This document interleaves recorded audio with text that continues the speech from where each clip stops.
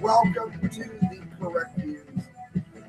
Sam IB Di Gangi of the Media Speaks, uh, jumping in with today's news.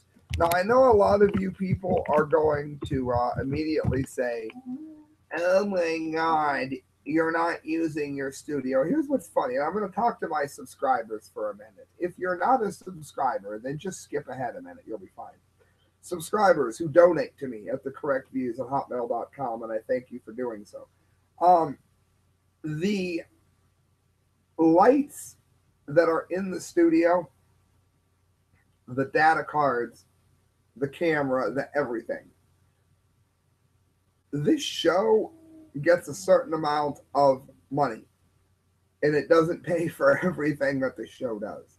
So sometimes you don't get me in the studio. And today is just such a day. I am also mostly a one man crew now. Christelle has uh, been doing very limited things on the show, as regular viewers will know. And time caught up with me. And guess what?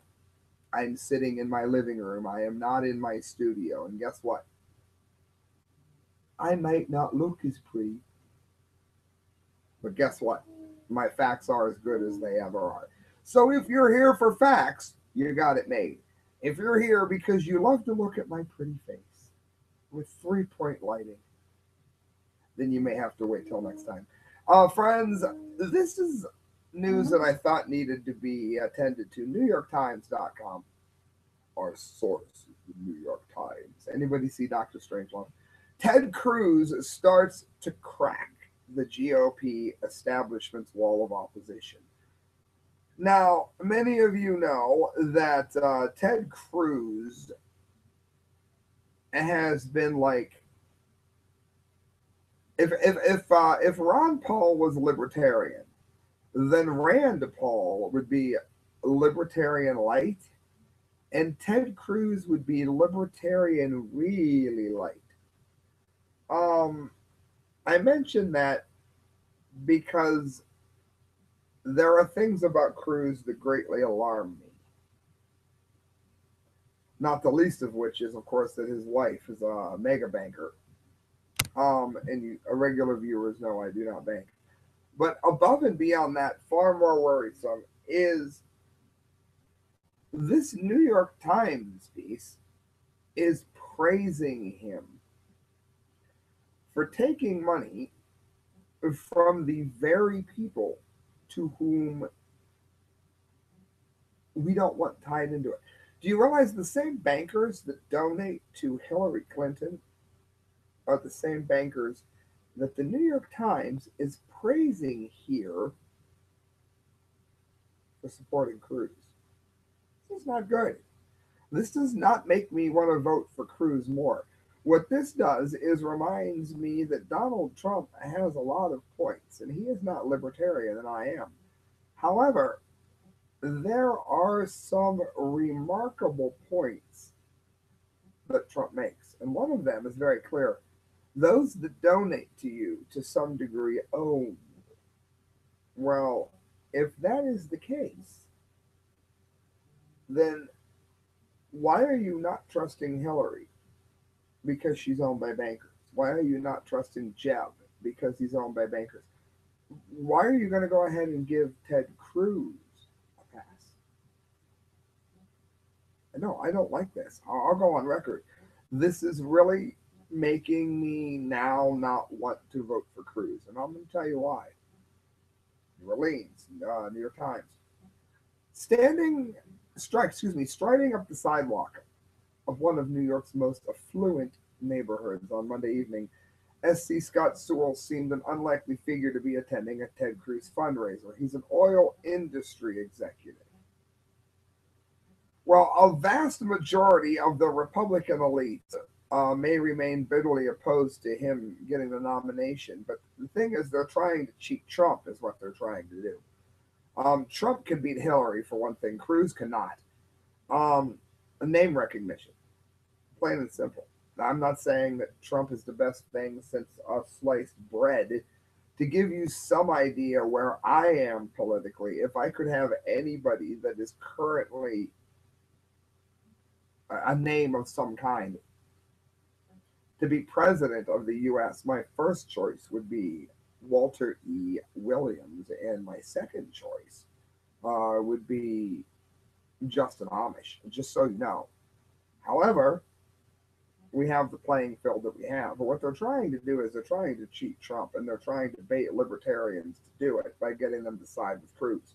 But Cruz is being backed by all the people that we already don't trust. Do you understand this? I've worded it like four ways now. We're working hard to consolidate a lot of support, Mr. Cruz told a reporter as he mingled. So, what's he mean by that? I can tell you what he means by that. He means that uh, he's taking money from people that are going to own him. Andrew Puzder, chief executive conglomerate who owns Hardee's and Carl's Jr., supported both Mr. Romney on, uh, excuse me, on both campaigns. And he said, I've become a one issue voter. Who can beat the Democrats? I understand that. Who can win? I understand that. But Mr. Cruz's wife, who is, of course, tied into the banking elite who have hosed all of us, met on the 2000 Bush campaign and worked in the administration. Again, a big Bush supporter. Does that make you want to vote for them more?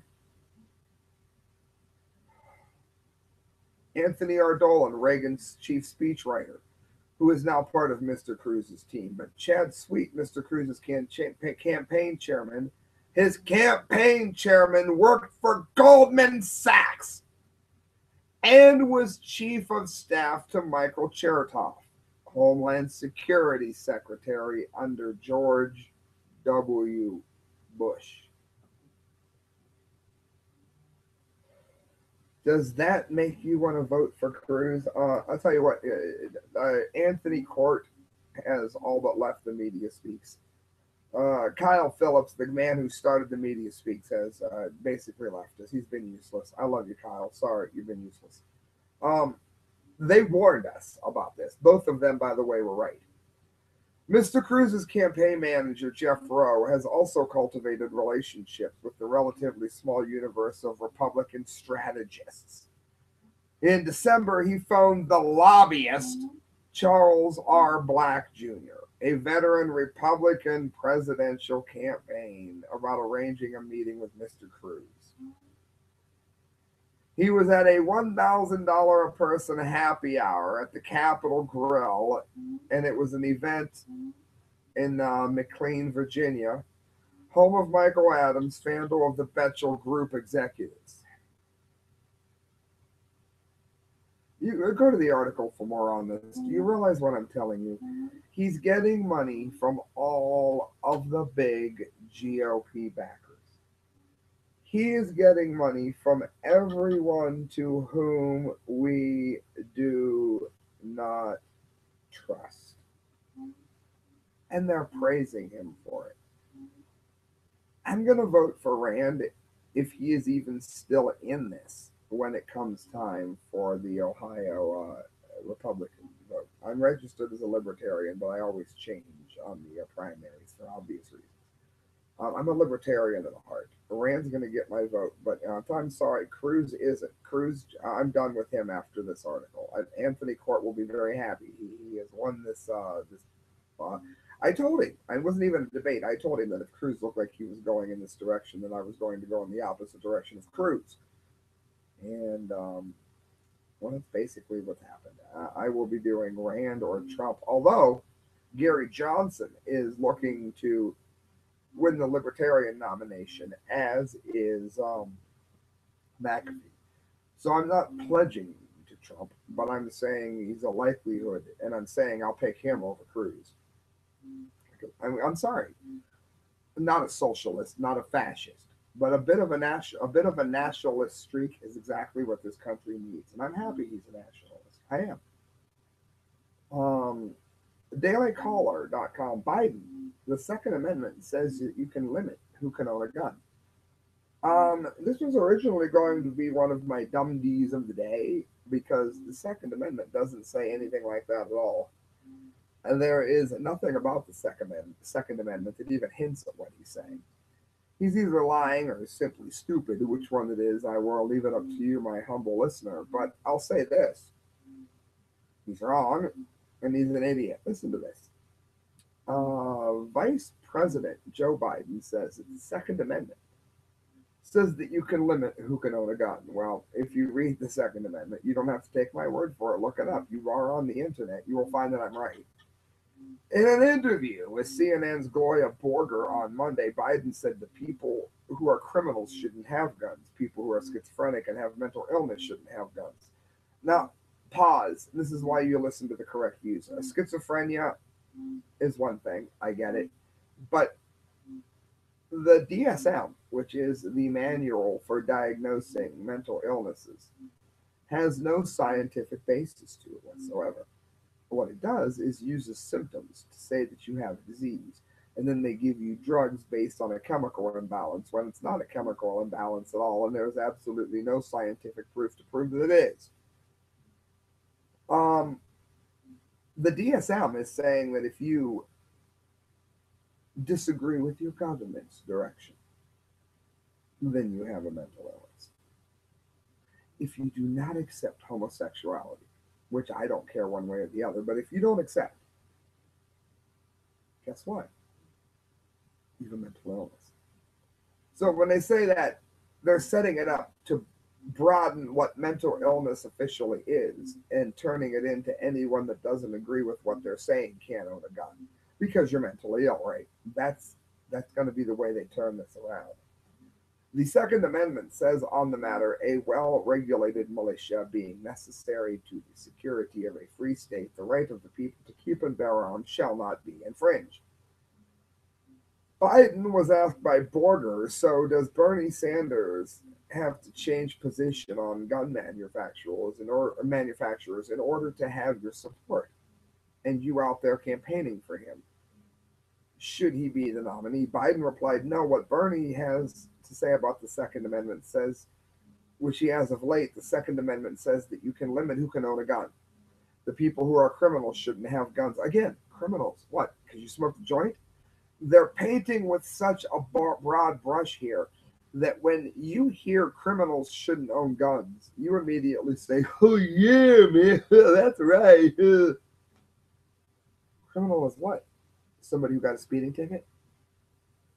You get it? You get what they're doing? I think you do. Were you jaywalking? Did you get a DUI? These are going to be the kind of ridiculous things you see, and this is why that's why I do these shows. That's plain and simple. This is why I do these shows. This is from the sunsentinel.com. Masked gunman shot dead by restaurant employee. Someone needs to show Joe Biden this article. It's by Rebecca Picardo. The tables turn for a masked gunman who was shot and killed by an employee on the Miramar restaurant with the attempt to rob, police said. Just before 6 a.m. Wednesday, a man wearing a ski mask and gloves walked into Captain Max Seafood Restaurant, 3700 State Road 7, and brandished a gun. After an exchange of words with the gunman, a restaurant employee used his own weapon to stop the attempted robbery, said Miramar police spokesman Tania Rues. The restaurant employee fired several shots and killed the suspect, she said. Oh, but I thought guns only took innocent life. Do you realize two things? First of all, that guns save more innocent lives than our laws do to them. The other thing that you might not realize, and I guess you probably should, is that if you factor out gang violence, the amount of gun violence in this country is incredibly low among all races. If you don't know those two things, then that's why you tuned in. That's why I hope you're hitting subscribe because both of those are true. You can look them up if you doubt me. I have no reason to lie to you. Um, police are still investigating whether the masked man fired his weapon before he was shot. The unidentified employee was seen getting into the back of a police car on Wednesday night as the body of a gunman remained inside the restaurant. Police were waiting for a search warrant to inspect the body for identification, and no one was injured. Luckily, the only sus- only the suspect was hurt, but there are other situations where innocent bystanders could have been hurt. Yeah, such as nobody having a licensed gun and the gunman just going nuts and shooting people. This is another gun win is another reason why Biden is wrong and Trump and Gary Johnson and Rand Paul are right. Who would I like out of all of them? Rand. Uh, why do I say that? Because I voted for Gary Johnson last cycle, but Gary Johnson isn't in favor of border control, and I am. Um, Alt market, Brandon Smith, ecological panic, the new rationale for globalist cultism. Um, we have to realize up front, right off the bat, right off the rip, that there is no global warming. There is no climate change caused by man. None of that is happening. Understand that first. Faith is an ideology based on a desire for power over others and the need to feel personally superior without any legitimate accomplishment is perhaps the most dangerous state of being an individual or a society can adapt. It's a mindset called zealotry, and it's an integral element of cultism and an extreme result of the elitist side of faith. Zealotry and cultism are not limited to the realm of the religious. Zealotry is a clever devil hiding in the woodwork of any political or academical construct, and this includes the scientific community. When it strays away from empirical logic and honest data into a world of pseudoscience and social engineering. Anthropogenic, which is man made global warming, which Bernie Sanders believes in and which is not happening, is quickly becoming the overreaching rationale for almost every policy toward global centralization. It says, as well as a scapegoat for nearly every major crisis, from mass shootings to the rise of ISIS to the geopolitical shifting in economic structures. Global warming has been projected as a magical force, deviously underlying everything.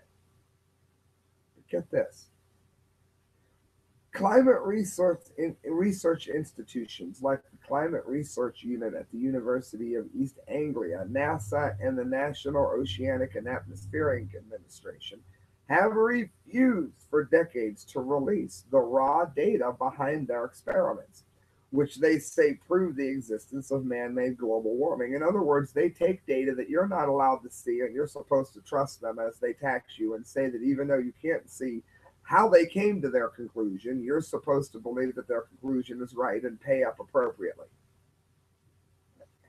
It's exactly what it says, friends. For many years, the CRU refused to release any data that was not first processed to reflect its own desired outcome and still refuses to release emails that might prove that climate scientists had rigged data in the warning models.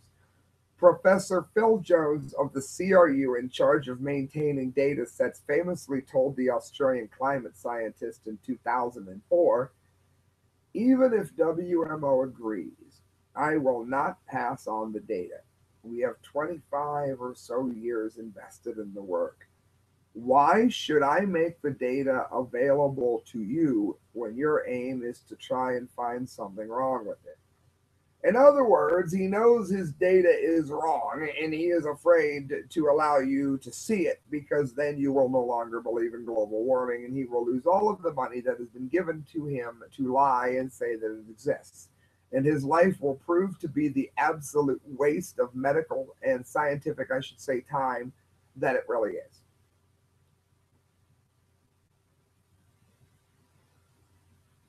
When opposition became more intense in reaction to the CRU's secret of data, the organization tried to say this We are not in a position to supply data for a particular country not covered by the example agreements referred to earlier. as we have never had sufficient resources to keep track of the exact source of each individual monthly value. In other words, they lied. Since the 1980s, we have merged the data we have received into existing series or begun new ones. So it is impossible to say if all stations within a particular country or if an individual record should be freely available. In other words, what they have done is they have testing units set up throughout the entire world. If a certain area gets warmer, then they are going to go ahead and include that into the model that you are not allowed to see. The rest of the globe, which is proving that nothing is warming, does not get included into the data set that you are not allowed to see. And this is the quote unquote science that they are, are taxing you on.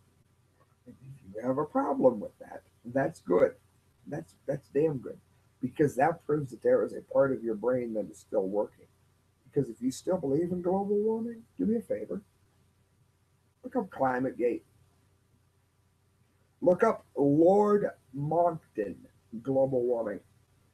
Look up the sentence Planet has not warmed in 15 years. Depending on the study, type this in. Planet has not warmed in 18 years. Leave me a comment and let me know what you found. Because I know what you're going to find. You're going to find out that you're listening to the correct views. Um, friends, do me a favor. Look up the work of Kyle, or look, I guess now, look up the work of David Lake and I. Uh, you can find him, uh, D Lake for president, of course, uh, the correct views at youtube.com if you are within about a 50 mile radius of Canton, Ohio, do make sure that you um, look up change transportation. Because if you're going to catch a, a taxi or and they're even cheaper than Uber, let them know about what you're paying to get where you need to go. And then call change transportation and let them know you heard about it from the correct views. You're going to get a discount. You're going to be delighted that you took the time. well, listen to this. I do the news from the science front. I don't know how many of you know this, but I do it every Saturday on the Media Speaks, 2 p.m. Eastern Standard Time. And I've been swarmed with uh, science lately. So what I'm going to do is go ahead and get to this um, just on my regular show here at the Correct Views, dailymail.co.uk, the spit test that can predict how long you shall live levels of an antibody in the body fall the nearer a person gets to death. This is interesting. The saliva test, we could predict how long you've got left to live. Lemmy could have used this. Researchers found that levels of a particular antibody fails the nearer a person gets to death. To reach their conclusion, they took samples from 639 adults in 1995 and tracked them over 19 years. They found that the levels of a secretory immunoglobulin, which is I little g capital A, fell the nearer the person got to death.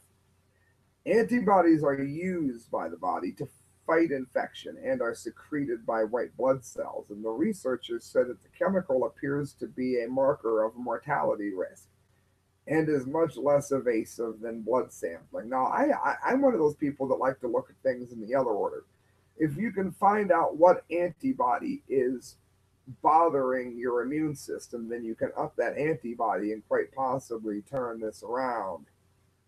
Um, this is interesting. And the researchers said that the chemical appears to be a marker. Like I said, testing levels of IgA could be used as a way of looking for the overall health by professionals as part of a general checkup. The research was published by the journal PLOS, PLOS 1. Dr. Anna Phillips from the University of Birmingham said there are a number of factors that can affect how well we produce antibodies and maintain their levels. You want to know some ways to do it? Look up how to almost never get sick. It's on my site. You'll find the vitamin regimen that I've been taking, which turned me into uh, a person that's almost never sick. I used to be someone that was always sick. They used to call me Sickly Sam.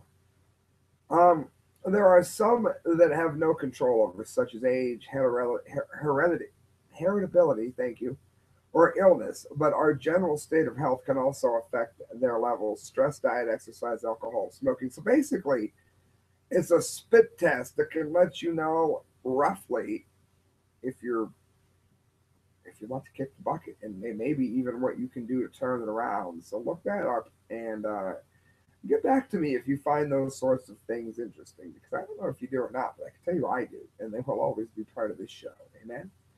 Uh, two more stories to get to. This is from the Rutherford Institute. What's in store for our freedoms in 2016? More of everything that we don't want. Written by John Whitehead. And of course, uh, as George Santayana wrote, those who cannot remember the past are condemned to repeat it. In a Harold Ramis classic 1993 comedy, Groundhog Day, TV weatherman Phil Connors, who is played by Bill Murray, of course, is forced to live the same day over and over again until he not only gains some insight into his life, but changes his priorities. Similarly, as I illustrate in my book, John Whitehead writes, The Battlefield America, The War on the American People, we are in the emerging American police state. We find ourselves reliving the same set of circumstances over and over again. So here are a list of what we can look forward to. More surveillance in 2016. The surveillance state is alive and well and kicking, and privacy uh, are going being kicked to shreds in America. Whether you're walking through a store, driving your car, checking email, or talking to friends and family on the phone, you can be sure that some government agency, whether the NSA or some other entity, will still be listening in and tracking your behavior. And again, a lot of people don't care about the Fourth Amendment. Okay, then why do we care about the First Amendment? Why should we have a right to speak? Why should we have a Second Amendment? Why, as a matter of fact, why should we have any of them? If they can take the amendment away that is just convenient for you not to care about, then they can take away all of the other amendments that you do care about. Do you see how this works? It really isn't that freaking complicated more militarized police, Americans were continued to be rendered powerless in the face of militarized police. In early America, government agents were not permitted to enter one's home without permission or in a deceitful manner. Citizens could resist arrest when a police officer tried to restrain them without proper justification or warrant. Daring to dispute a warrant with a police officer today who is armed with high tech military weapons would be nothing short of suicidal. Moreover, it says as police forces across the country continue to be transformed into extensions of the military, Americans are finding that their once peaceful communities are transformed into military outposts. They can take your money just because you have money on you. Do you understand? This is a war on cash. You can get pulled over with money that is legally yours and they can just take it because they don't like the fact that you have cash. We can look for more police shootings of unarmed citizens that speak for itself more so-called terrorist attacks because basically they're looking for the wrong people in the wrong places. Despite the government's endless propaganda about the threat of terrorism, and even in the wake of the shootings in San Bernardino and Paris, statistics show that you are 17,600 times more likely to die from heart disease in a terrorist attack. Um, most costly wars, the military industrial complex that has advanced the U.S remain at war year after year. And then it's the very entity that will continue to profit the most from America's expanding military empire. So we're going to see more of that. More attempts by the government to identify, target, and punish so called domestic extremists in much the same way that the USA Patriot Act was used as a front to advance the surveillance state. The government's anti extremism program will, in many cases, be utilized to render otherwise lawful nonviolent activities as potentially extremist. More SWAT team raids. More than 80% of American communities have their own SWAT teams, and that's been abused. We've covered that repeatedly here. More erosions of private property. Um, private property means little at a time when SWAT teams and other government agents can invade your home, break down your doors, kill your dog, wound or kill you, and damage your furnishings and then terrorize your family. And there's a link to it in the article. Likewise, if the government officials can find you and arrest you for growing vegetables, which they do, praying with friends in your living room, which they do, or installing solar panels on your roof and raising chickens in your backyard, then what is private property? Uh, more debt. Of course, everyone knows 180, excuse me, 18.1 trillion and rising of the current government debt. We'll never get that paid back more government contractors getting money while the private sector, of course, goes under, more overcriminalization, which is uh, everything. I mean, every, literally everything.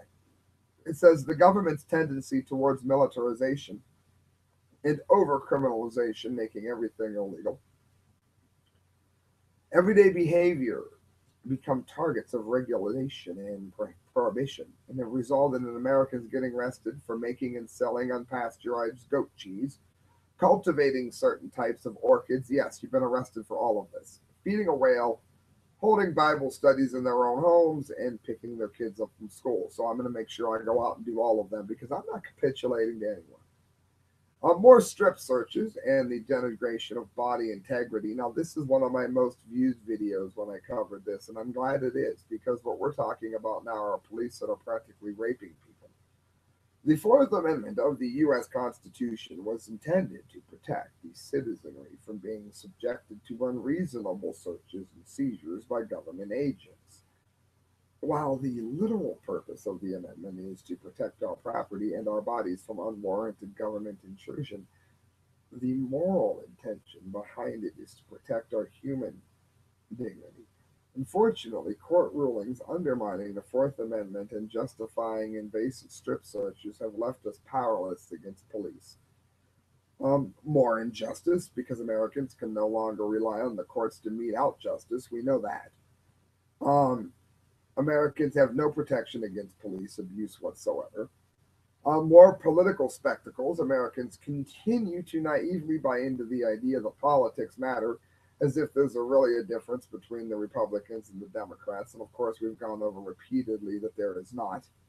More drones, that's that's a given. More dumbed down, locked down public schools because they have become training grounds. Our schools have, we know this, for compliant citizens.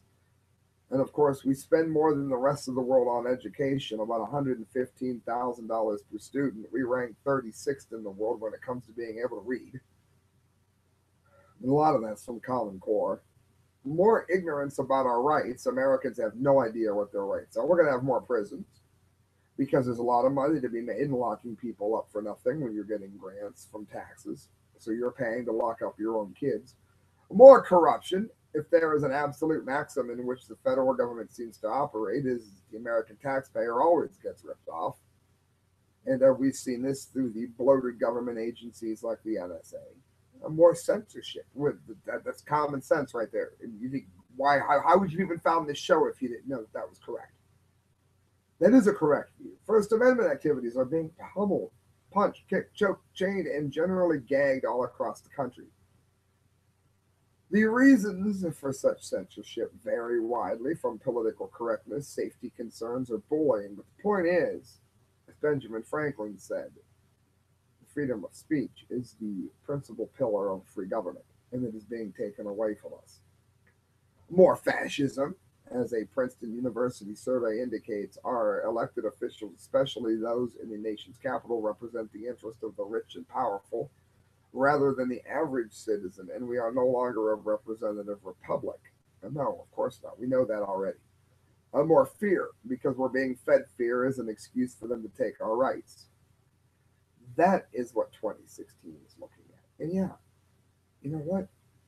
I'm talking into a camera in my living room because my studio is tied up. And I'm doing this because it matters. It matters a lot. If you don't see why it matters, then go ahead and look at the way our culture is dying around us. Listen to Drake, listen to Nickelback, and you can tell there's no talent in our art. Look at our politicians. There is no honesty in our politicians. There is no justice in our laws. We are living fallen nation, friends, and if we do not fix it, we are doomed. Friends, that brings us to the dumdy, dumdy, dum, dum, dum, dumbass dumdy of the day. It is true. Uh, for those of you that don't know, of course, we do the dunce cap of the month once a month, and we do the dumbdee of the day once a day. And we got a dumbdee.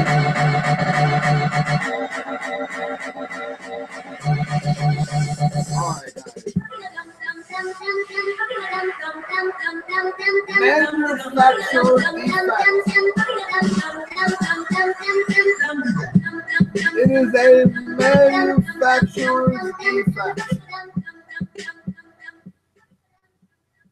A simple manufacturing defect, of course, that has uh, cited for a toy of an F 16, which is a fighter jet singing a creepy Islamic chant. Talk about a dumbdee. Uh, Baz BizPac review, Nicole Haas.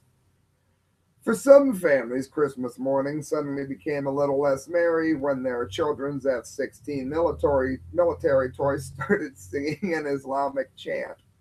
Yes, uh, we, we rape women. Please don't bomb us is probably their chant. On the outside, uh, the toy looks like fun little fighter jets for a perfect thing to go along with your GI Joe. But families have reported hearing something very different from engine noises when the sound is triggered. The sound people were hearing was an Arabic prayer, a chant used on pilgrimage to Mecca. An Islamic leader told King 5 News. You know, Mecca, the place that Saudi Arabia doesn't let the uh, refugees go to because they don't give a shit about their own people. Yes, I said it. One family who received the toy described opening it Christmas morning. We put the batteries in. We didn't get what we expected, the boy's uncle Bjorn Thorpe said. I do respect other religions, but it's not the right situation to have in a children's toy. He's from Sweden. I don't know if he is or not. The toy company. Oh, I, I, I made a joke about white people. I wasn't politically correct. The toy company Wolvol blames the mistake on a manufactural defect, saying that the wrong sound effect must have been mistakenly added. Oh, you don't say. Wolvol pointed out its great reviews on Amazon, but other disappointed customers have already begun posting their disappointment of the same problem. Plays Middle Eastern chant or prayer, not good, one review said. Plane looks okay and moves around, but the chanting is annoying and creepy, and you can't turn off the sound, writes another. Thorpe, however, doesn't seem overly concerned about any of it. He told King Five he'd just like to get reimbursed so he can get his nephew a new plane. No, you must be a politically incorrect bastard if you don't want an Islamic chant being fed into your kid's ear when he tries to play with an airplane. Friends, you're listening to The Correct Views. Sam I. B. Di Gangi signing off. Do me a favor, look up the work of Mike MacLaughlin, M-A-C-L-A-U-G-H-L-I-N. One of the best writers extant today you will find with him. Also, do me a favor and uh, donate to the show if you can. Really, it would, it would really help uh, the correct views on hotmail.com. Every penny you give to me goes towards a better show, friends. Good night. God bless.